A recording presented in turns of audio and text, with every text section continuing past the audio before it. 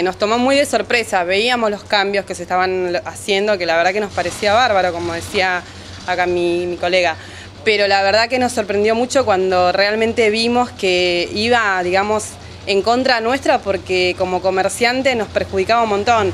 O sea, desde ya la gente podía estacionar en la cuadra, hacía su compra y se retiraba, pero ahora directamente no lo puede hacer. Y bueno, y la verdad que sí, nos perjudica muchísimo. Es más, misma la gente de la zona de Paso del Rey. Yo vivo en Paso del Rey y la verdad que sí, te, perjudica mucho. Eh, tanto para tomar un colectivo, para acercarte y hacer una compra, lo que quieras, hacer cualquier tipo de trámite. Así que bueno, ya hicimos, levantamos firmas, eh, eh, buscamos que por favor nos escuchen, o sea, nuestro, nosotros estamos predispuestos a que ellos hablen y llegar a algún acuerdo, pero es como que no vemos respuestas del otro lado. Y sí, las respuestas que escuchamos no eran tan buenas que, bueno, dijimos, algo tenemos que hacer. Te digo más, en cuatro días juntamos 700 firmas, que no era solo de comerciantes, de toda la gente que no está conforme porque no puede parar en Paso del Rey a comprar. Entonces se tienen que ir a Merlo, se tienen que ir a otro lugar porque acá no puede parar. Entonces también está la gente desconforme, no es solo una cuestión comercial, y que sí es una cuestión comercial porque nuestra vida es de lo que vivimos y que vemos que se está yendo todo al tacho. Paso el Rey nunca hubo un agente de tránsito, pasamos de no tener ninguno a tener 8 o 10 agentes de tránsito, no estamos en contra de un ordenamiento, pero que nos sirva a todos.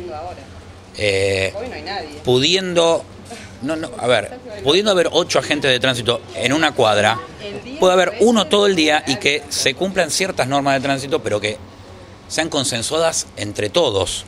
Eh, porque suena muy feo eh, las formas que directamente se borró del mapa a todo Paso del Rey.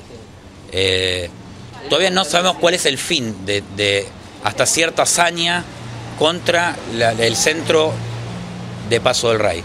Porque hay hasta un ordenamiento que las leyes no son las mismas para Moreno que para Paso del Rey. Estamos en el mismo partido, pero las leyes no son las mismas. En Moreno se, puede, se permiten cosas que en Paso del Rey no se permiten, siendo una ciudad mucho más chica y con mucho menor caudal de tránsito o de habitantes. Están más eh, eh, volcados a Paso del Rey y no entendemos cuál es la finalidad de, de todo, de todo este asunto. Néstor, una última pregunta, digo, y mencionaste el tema de las fiestas. Tal vez eh, las chicas no lo hayan sentido tanto porque, digamos, son rubros específicos. Pero, por ejemplo, si tienen que hacer un balance respecto al año anterior a este año de cómo vendiste las fiestas, ¿hubo una merma de cuánto?